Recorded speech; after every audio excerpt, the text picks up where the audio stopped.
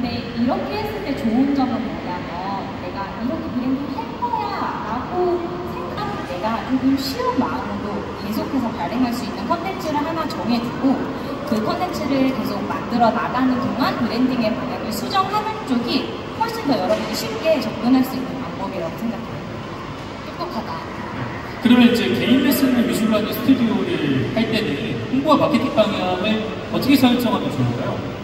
약간 왜냐면 시간이 저희가 얼마 안 남았기 때문에 핵심 위주로. 어, 개인 레슨 같은 경우에는 이제 저는요 개인 레슨 페이를 1만 원만 받고 시작을 했다가 나중에 이제 15만 원까지 올렸거든요. 근데 이제 그 비결이라고 하면 그냥 저를 알리는 것에 먼저 집중을 했어요. 인스타랑 좀 비슷하죠. 저라는 사람에 대한 신뢰도 쌓여있지 않고 뭐저 사람 누군데 그냥 요가원을 가지 비싼 돈 들여서 레슨 들을 게 얼마나 되겠어요. 그래서 저는 저한테 오신 분들에게 그 수업료 이상의 가치를 드리려고 되게 노력을 했고 정말 10만 원, 20만 원의 가치를 줘야지 하고 항상 수업에 임했어요. 이렇게 해서 좋은 점은 아무래도 나라는 사람 혹은 나의 상품이 아무리 가치 있어도 경험해본 사람이 없으면 어, 세상에 이제 나오지도 못하고 없어져 버릴 텐데 한 명한테라도 경험을 하면 그분이 간증이라는 걸 하기 시작해요. 저 선생님 수업 좋더라. 저 선생님 수업 하니까 이렇게 변했다라고 비포 에피터나 수업 후기가 생기고 그렇게 하다 보면 이제 조금씩 조금씩 회원님들이 대기를 걸기 시작하면서 이제 어느 순간에는 대기자분들을 만족시키기 위해 수업료를 올려야 될 때가 옵니다. 그래서 아직은 시장이 많이 원하지 않기 때문에 초반에는 만 원까지는 아니에요, 여러분. 여러분은 그만큼 그보다 가치가 있으니까 조금 낮은 가격으로 레슨비를 좀 설정해 보시고요. 그게 여러분의 노동력 가치를 평화하는 건 아니, 아니라 수요와 공급 법칙에 의해서 어쩔 수 없이 그분들이 날 선택하게 만드는 그런 세팅을 가격으로 한번 해보시는 것도 같아요.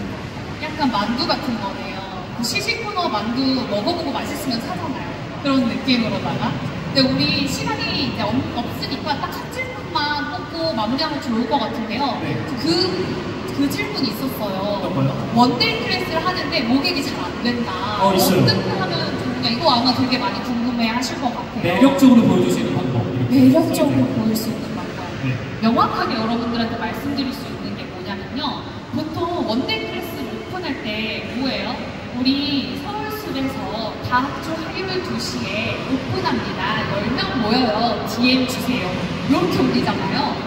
그러면 보통 사람들은 우리에게 기본적으로 관심이 없기 때문에 내가 그냥 왜 가야 되는데? 이렇게 생각을 하게 돼요. 그래서 홍보를 할 때는 와 내가 뭐 하는지에 대해서 말을 해주는 게 아니라 우리 은지님이 아까 얘기했던 것처럼 Y를 말해주는 게 중요해요. 예를 들어 이런 겁니다. 은지야, 요즘 일 너무 많잖아요. 그쵸? 진짜 너무 바빠가지고 빡세고 힘들지 않아요? 그쵸? 진짜 힘들어요. 근데 저도 딱 연, 연, 그 엄지의 연차 때 그랬던 시절이 있었어요. 갑자기 일이 너무 많이 밀리니까 내가 새로운 일을 하면서 벅찬 거예요. 그때 시작했던 게 화학 영상인데 그 화학 영상을 하고 나니까 일의 능률이 엄청 올라가더라고요. 그걸 제가 지금 화학 영상을 아침마다 10년째 하고 있거든요.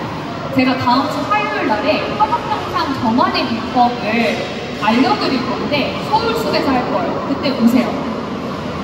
계좌번호 주세요. 이렇게 왜 너가 와야 되는지에 대한 Y를 이야기를 해주는 거예요. 지금 제가 했던 이야기 있죠. 나의 타겟이 공감할 만한 이야기를 먼저 던지고요.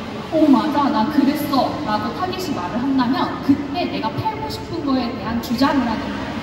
나 그거 너에게 알려줄 수 있거든. 너 그때 와야 돼. 이렇게 그때 돼서 그 다음 내가 하고 싶은 말을 전달을 하는 게 훨씬 더 고객들이 잘 들을 수 있게 만드는 방법입니다. 네, 감사합니다. 사실 저희가 뭐 질문도 사전에 너무 많이 받았고 하고 싶은 이야기 많지만 시간 관계상 여기서 이제 마무리를 좀 하고요. 저는 좀 궁금한 게 그래서 우리 루틴 온라인 클럽을 어떻게 데려가는지 끝으로 한번 소개를 해주시고 마무리해야 되잖아요. 아, 간단하게 한번 소개를 해볼까 봐요. 저는 강사 클럽을 진행을 하고 있는 클럽장이고요. 모객 아까 질문 주셨는데 그분 누군지 모르지만 꼭 다음 강사 클럽 들어오셔야 돼요. 저희가 마치 다음 기술에 공부를 하는 게 모객에 대한 거거든요. 왜 난 사람을 못 모을까? 나의 찐팬을 어떻게 모을 수 있을까에 대한 사람 공부 동글동글하기 때문에 다음 기수에 이게 고민이신 분들은 꼭 들어오시길 추천드립니다. 네. 이상으로 좋은 말씀 해주신 엄지 선생님, 은진 선생님께 다시 한번 큰 박수 부탁드리겠고요. 우리 혜리 대표님은 잠깐 남으셔야 되기 때문에 네. 이때만 박수 다시 드릴게요. 네. 네, 감사합니다. 감사합니다. 자, 다음은 이제 시상식으로 진행을 하겠습니다. 자, 이거 틀어주시면 저희가 바로 시상식 들어가도록 하겠습니다. 제가 씌울게요. 네. 네. 아이고, 감사합니다. 저도 치울게요. 자, 오늘 웨이트를 안 해가지고 힘이 네. 났거든요. 아, 예.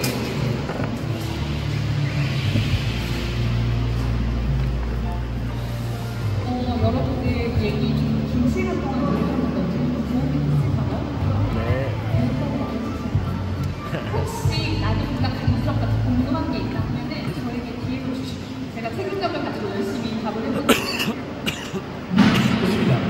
제가 알기로는 이제 루틴 온라인에서 장학제도가 있다고 들었는데요. 맞아요. 저희가 온라인 안에 클럽이 굉장히 여러 가지가 있어요. 그 클럽 안에서 장학생이 되신 분들은 이 reward가 중요합니다. 저희가 해외에 가가지고 trip을 많이 해요. 해외 trip을 가서 합숙소라고 해서 같이 공부를 하는 그런 class가 있는데요. 이 모든 지원금을 다100% 지원을 해줍니다. 장학생들에게. 공짜라는 얘기신 거예요? 네. 오. 공짜로 모시고 가야죠. 와. 장학생. 괜찮지 않아요, 여러분? 너무 좋은데요? 그쵸, 그쵸. 네. 네, 이 장학생에 대한 기준이 클럽마다 조금씩 달라요. 일단은 한 개수 이상, 세 번 이상 참가하신 분들 중에서 최우 수상 하신 분들에게 대한 장학생이 될 기회를 드리니까요. 네. 오늘 마치고 그분들 시상이 있잖아요. 이게 그 시작이군요. 맞아요. 이게 좋습니다. 그 시상입니다. 네. 우리 혜리 대표님께서 말씀해 주신 기준을 통하여 최우수상과 우수상을 선발하였습니다. 어, 저희가 시상을 진행할 때 여러분들 큰 박수로 축하해 주시면 감사하겠습니다. 네, 시상에는 우리 루틴 온라인 이해를 대표님께 소속을 드리겠습니다. 마이크 좀 돌려주시고. 네.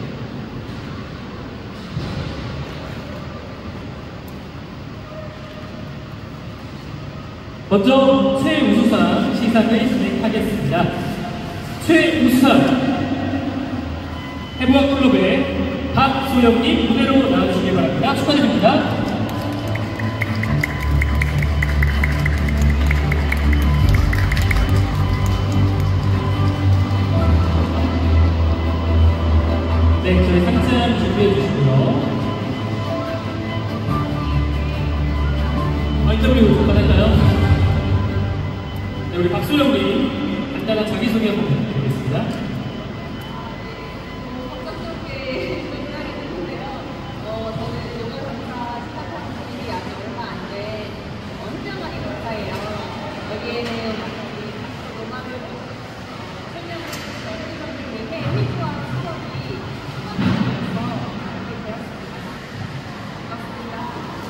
자, 제가 자꾸 인터뷰 할게요. 그럼 본인이 최우수상에 선발된 어, 비결은 뭐라고 생각하세요? 네, 어, 정말 그냥 우리 선생님이 잘 차려주신 것을 어. 아까 그 영화배우 홍정민 씨 시상소감처럼 맛있는 밥상을 맛있게 먹었을 뿐이다. 어, 그러면 이제 이 활동하시면서 좀 좋았던 점 한마디만 해주시면 좋을 것 같아요. 네, 어, 정말요, 실질적인 수업이라고 생각을 해요. 그래서 제가 들었던 것이 수업을 할 때도 그렇고요. 어, 수련을 하시고 엄지 선생님께서 낭낭한 목소리가 제 머릿속에 맴돌아요. 그래서 정말로 실질적으로 어떻게 수면 좋은지가 저에게 도움이 되는 수업이라고. 아, 다시 한번 진심으로 축하드립니다. 두분 위치도 서주시고요. 저희 상세한 정보 같아서 제가 전달해 드릴게요.